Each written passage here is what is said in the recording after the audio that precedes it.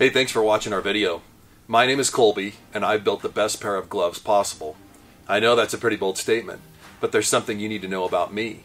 I have a hereditary muscle disorder similar to Raynaud syndrome that causes me to lose motor function when I get cold.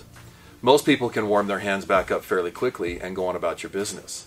Unfortunately, when my hands get cold, it may take several hours for me to regain motor function.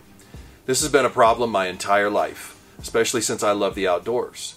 I've struggled for years to find a glove that was truly warm, waterproof, and provided reasonable dexterity for cold weather activities. That glove didn't exist until now the Steelhead glove.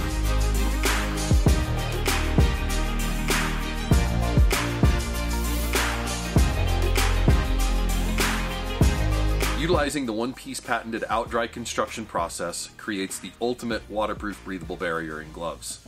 This impenetrable layer is permanently heat bonded directly to the outer fabric, leaving no seams, no gaps, and no way for water to get in. This allows us to build a thinner, lighter glove with maximum dexterity and feel. Traditional waterproof gloves use a membrane that is nothing more than a giant bag inserted between glove layers. Moisture is trapped inside the glove, creating a cold, damp feeling. Your hands are dry, but they are still cold because you literally have a moisture barrier that inhibits breathability and acts as a cooling layer inside the glove. How much does this cooling effect have on your hand temperature? In a controlled test, we submerged a traditional membrane glove and our steelhead glove in 50 degree water for 5 minutes and used a military grade thermal imaging camera to record the results. Our steelhead gloves outperformed the leading competition by an astonishing 10.8 degree difference in hand temperature.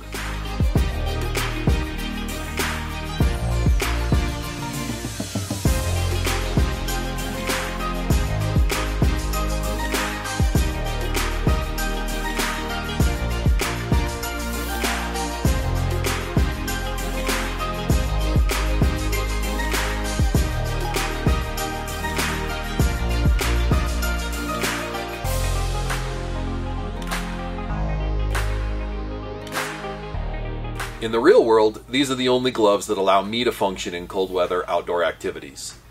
If they work for me, they'll work for you. By supporting our campaign, you'll not only receive our gratitude, but the answer to my lifelong dilemma the ultimate pair of gloves.